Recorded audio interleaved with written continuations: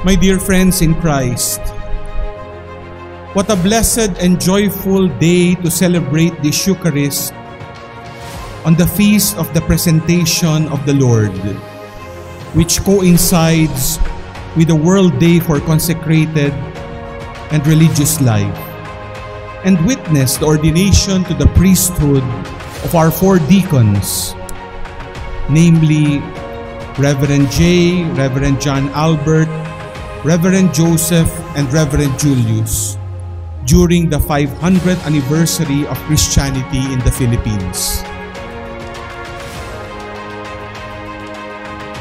Three words come to my mind for our ordinandi as they receive the grace of priestly ordination, presentation, purification, and consecration. The first is presentation.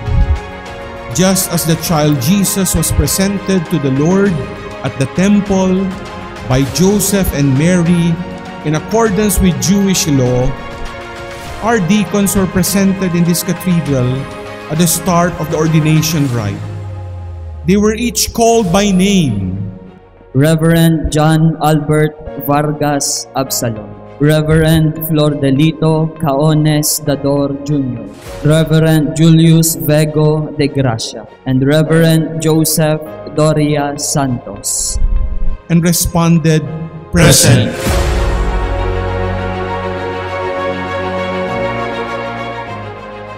The response is not only a public manifestation of their free willing desire and hope to be ordained, but also their commitment to being present to God and the church in loving service.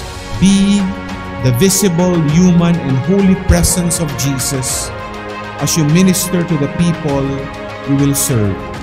Be available to people for the sacrament of reconciliation. Like Saint John Mary Vianney, spend hours in the confessional, waiting for and listening to those who seek God's forgiveness. Make an effort to visit the elderly, like Simeon and Anna the sick and the dying, and those who want to receive the sacrament of anointing of the sick. As you impose the holy oil of anointing on their foreheads and hands, make them feel the consolation and comfort of God's healing love. In all these, you are challenged to be the face of Jesus' mercy and fidelity in your priesthood. Lord, maraming salamat po at pari na po kami. Alam mo at alam ng mga tao, aming kamag-anakan, kaibigan, mga kaparian, at ng aming mabuting pas ubispo, ang aming mga karupukan, kahinaan, takot, kalokohan, kasalanan. Ngunit sa araw na ito, pinili mo kami na maging pari dahil sa iyong pagtitiwala sa amin at lalong-lalo na dahil sa iyong wagas na pagmamahal sa amin.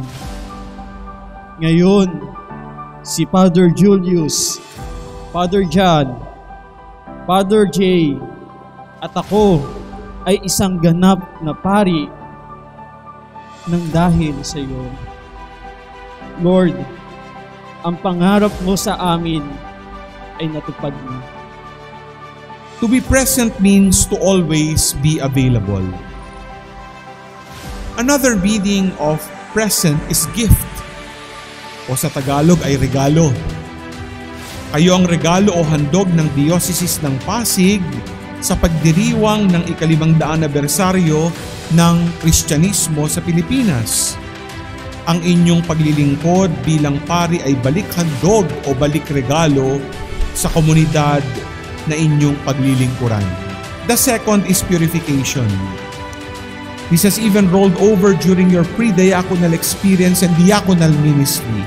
In a way, we hope that your priestly formation has purified you of worldly attachments and values so that your life will be refined and configured to the poor Christ.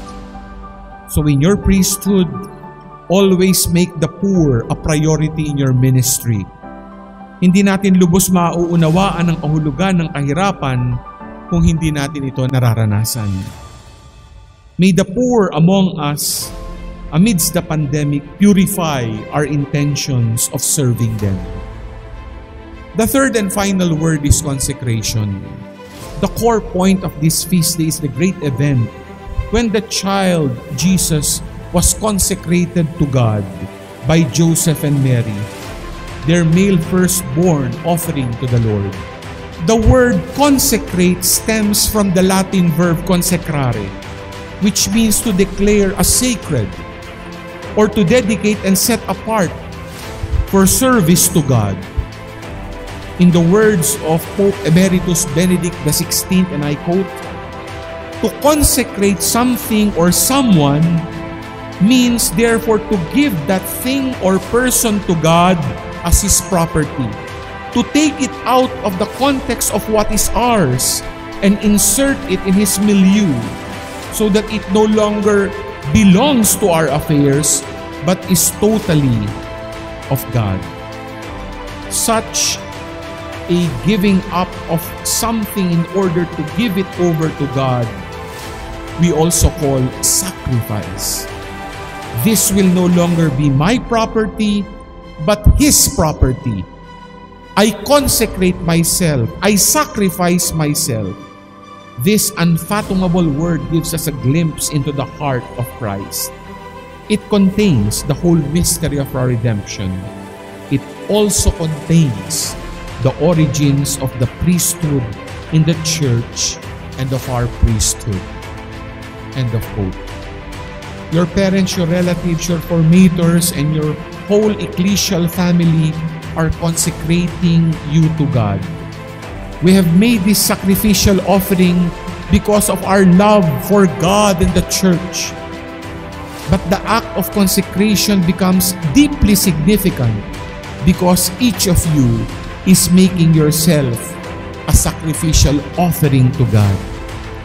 This sacrifice is a commitment that will be done daily in your fidelity to the liturgy of the hours, in your hours of adoration before the Blessed Sacrament, in your prayerful presiding of the Eucharist, in the diligent preparation of your homilies and spiritual talks, in your sacrifice of time, talent, and treasure especially in your service to the poor. There will be times that you may feel tired and weary in your priestly service and you would want to rest. Yet you will be asked to shed even the last ounce of your strength to serve others. This is what your consecration means. This is your sacrifice. This is what it means to be a holy priest. Let us also pray that as ordained priests, they truly become, in the words of Pope Francis, joyful missionary disciples, radiating the words and deeds of Jesus, the eternal high priest, wherever they are sent.